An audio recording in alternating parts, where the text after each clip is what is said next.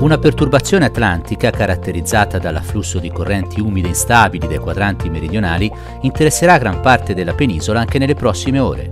Nel fine settimana la saccatura atlantica tenderà ad isolarsi sul Mediterraneo centrale, apportando ancora condizioni instabili, in particolare al sud e a tratti anche su parte delle nostre regioni. In Toscana venerdì 2 novembre molto nuvoloso con ulteriore aumento della nuvolosità già nel corso della mattinata a partire dalle zone meridionali e orientali della regione. Precipitazioni sparse in mattinata anche a carattere di rovescio, localmente di temporale, più diffuse dal pomeriggio. Venti di scirocco sulle zone meridionali, a tratti forti al più moderati orientali altrove.